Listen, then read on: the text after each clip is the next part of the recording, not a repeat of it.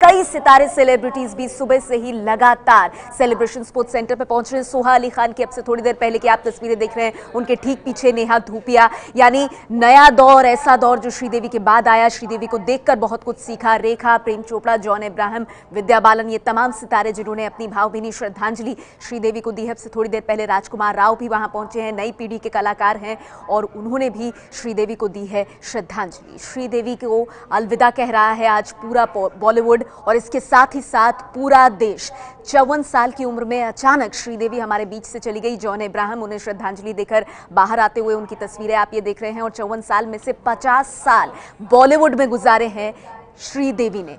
इतना बड़ा कद और ये मनीष मल्होत्रा को आप देख पा रहे हैं। मनीष मल्होत्रा की एक खास साड़ी श्रीदेवी ने उस आखिरी फ़ंक्शन में पहनी थी। उनके परिवार की शादी का फ़ंक्शन जो दुबई में हुआ था, तब शायद मनीष मल्होत्रा ने सोचा भी नहीं होगा कि आखिरी बार इस तरह से अपनी किसी क्रिएशन को, वो श्रीदेवी को पहना रहे होंगे। बाकायदा एक फोटोग्राफ भी डाली गई थी। एक फोटोग्राफ तक इसको लेकर के इंस्टाग्राम पर डाली गई थी, लेकिन वो श्रीदेवी की आखिरी तस्वीरों में से साबित हुई। हम सीधे रुक करेंगे एबीपी न्यूज़ संवाददाता अभिसार शर्मा का सेलिब्रेशन स्पोर्ट्स सेंटर जहाँ श्रीदेवी का पार्थिव शरीर रखा हुआ है। वहीं पर अभिसार मौजूद है। अभिसार, आपके साथ विभा कौल भट्ट भी मौजूद हैं। वो श्रीदेवी के परिवार वालों से मिलकर आई हैं। बहुत गम का माहौल होगा। क्या जानकारी आप हमें दे पाएँगे? बिल्कुल नेहा मैं सीधे बात विभा से करना चाहूँगा। विभा आप दोनों बेटियों से मिलके आई हैं। क्या कहा है उन्होंने? आ, जब मैं अंदर गई तो माहौल एकदम शांत था। आ, आ, र, एक एक बीच में उनका पार्थिव शरीर था। इतना शांत इतनी सुंदर लग रही थी वो। और सब आसपास उनके ऊपर सफ़ेद फूल डाल रहे थे मोगरे डाल रहे थे। बहुत शांत उनके चेहरे पर वो शांति और वो इतनी खूबसूरत लग रही थी। साइड में बोनी कपूर खड़े थे उनके पीछे उनके उनकी बेटियाँ खुशी और जानवी। आपकी उन दोनों से भी बात हुई है? हाँ मेरी उन दोनों से बात हुई। मैं बात करने वाला कुछ इस टाइम पे था नहीं तो मैंने सिर्फ़ उनको कहा कि कीप द स्ट्रेंथ क्योंकि वो उस तरह से ही बिहेव कर रही थी कि अपने पापा जो बिल्कुल तो आ, उन्होंने जब वहाँ पे उन बट एक चीज़ बहुत इंटरेस्टिंग थी कि रेखा ने दोनों बेटियों को गले से लगा के टाइट गले से लगा के उनको प्यार किया सांत्वना दी। सांत्वना दी।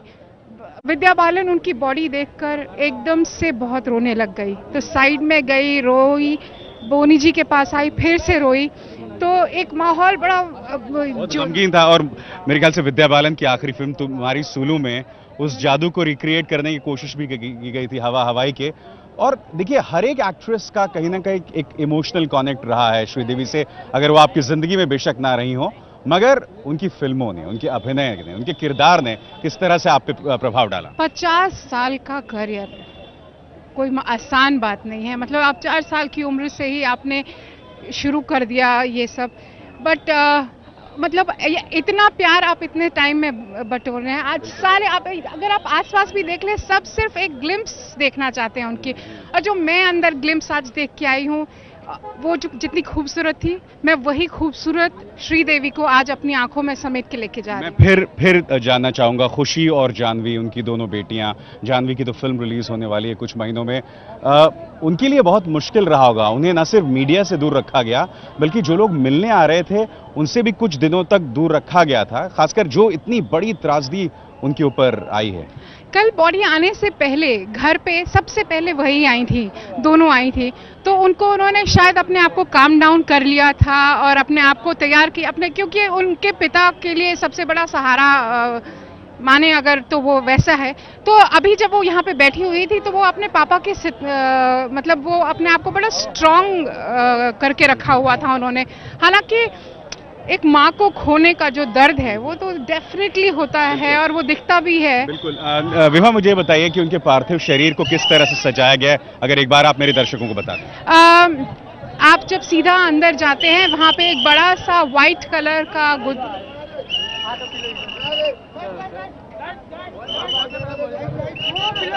और अभी फरदीन खान अभी एक तरह से प्रवेश कर रहे हैं यहाँ पर। आप बता रही थी बताइए। हाँ उनका एक पूरा एक इंक्लोजर बनाया था। वहाँ से लोग उनके दर्शन कर रहे थे। वहाँ पे फूल रखे हुए थे लाल गुलाब रखे हुए थे और मोगरे रखे हुए थे। तो जो भी उन्हें चढ़ाना चाहे और स्पेशली उनकी आखिरी ख्वाहिश ये थी कि वो सफ़ेद में ही ये तो मोस्टली लोग सफ़ेद मोगरे के फूल ही उनको अर्पित कर रहे थे। वो एक दुल्हन की तरह सजी थी बट वो बहुत ही खूबसूरत लगी थी। आ, मतलब मैं जो वायरल पिक्चर्स देख रहे थे कल हम लोग उससे जिससे बहुत डिस्टर्ब हो गए थे।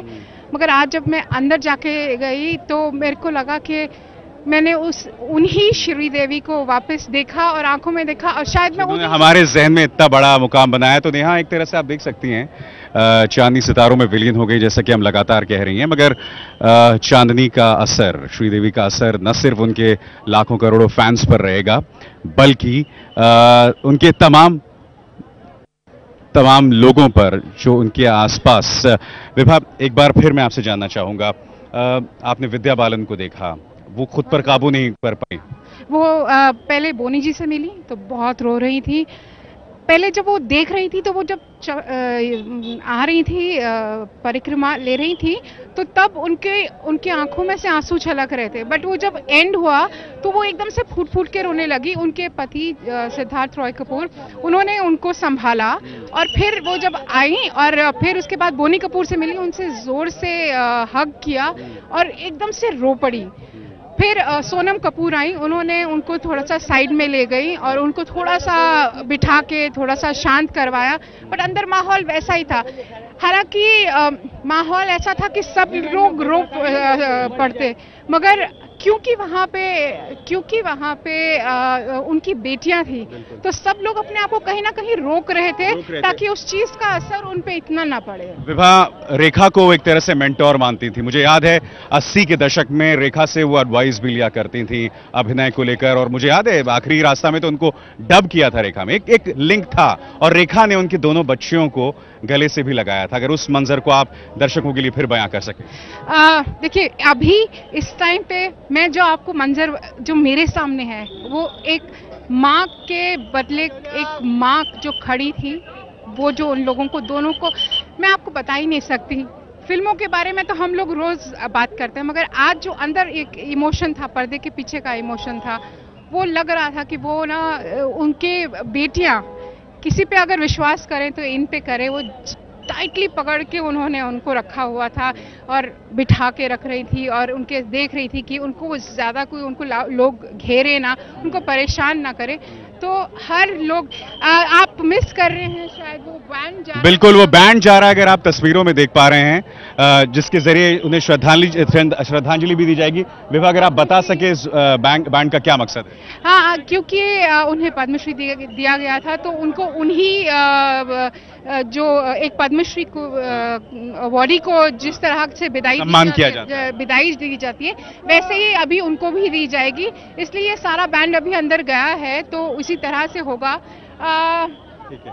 और उसके बाद यहाँ से मतलब ये सब चीज़ें ये प्रक्रिया खत्म होने के बाद फिर यात्रा पवन हंस की ओर चली जाएगी और कमरे के अंदर आ, बेटियों के लिए बहुत मुश्किल होगा क्योंकि जानवी की तो फ़िल्म भी आने वाली है और उनकी माँ न सिर्फ़ माँ हैं बल्कि श्रीदेवी जो कि इस देश की पहली फीमेल सुपरस्टार ज़ाहिर सी बात है जानवी के लिए तो बहुत ही मुश्किल ये लम्हा होगा। बहुत मुश्किल था। वो आखिरी वक्त में उनके साथ थी भी नहीं जब ये हुआ। हाँ इनफैक्ट वो वो ज़्यादा दर्द ज़्यादा रहता है कि जब आप उनके साथ नहीं थे आपको पता नहीं है उन्होंने आखिरी लम्हों में क्या कहा होगा किसे पुकारा होगा क्या कहा होगा। बट करण जौहर अंदर थे। हम्म। उन्होंने उन लोगों दोनों को मतलब इस तरह से हैंडल कर लिया था कि दो, दोनों को दोनों को होल्ड कर लिया था। उन्होंने उनको अपनी बेटियों की तरह मैं करण से भी मिली तो करण का बस इतना ही कहना था Vibha just pray for them तो अब कुछ टाइम तो लगेगा उनकी दोनों बेटियों को बट मुझे हैरानी इस चीज़ की हुई कि वो दोनों बेटियों ने अपने आप को बहुत ही स्ट्रांग कर लिया था। जिस तरह का आप श्रीदेवी का परसोना बाहर देखते थे अंदर चाहे कुछ भी चल रहा हो मगर बाहर से एक परसोना था कि स्ट्रांग विल्ड और ये सब। वैसे ही उनकी बेटियों ने का भी शख्सियत मुझे अंदर नज़र आई। और सबसे मिल रही थी सब उनसे मिलना चाह रहे थे और बट पूरा परिवार मुझे आसपास सोनम सोनम थी वहाँ पे श्रद्धा कपूर थी वो दोनों उनके पीछे पीछे अर्जुन कपूर एक बड़े भाई की तरह। बिल्कुल मैं मैं अ, अर्जुन कपूर के बारे में खास तौर पे आपसे जानना चाहता हूँ। मैं आपसे ये भी जानना चाहूँगा कि अ, उनके पार्थिव शरीर को किस तरह से रखा गया है मगर अर्जुन कपूर हमने देख